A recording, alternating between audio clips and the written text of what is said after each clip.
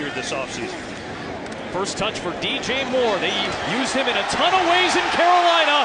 This He's was gone. one of them. And there he goes. Goodbye touchdown. Welcome to Chicago. DJ Moore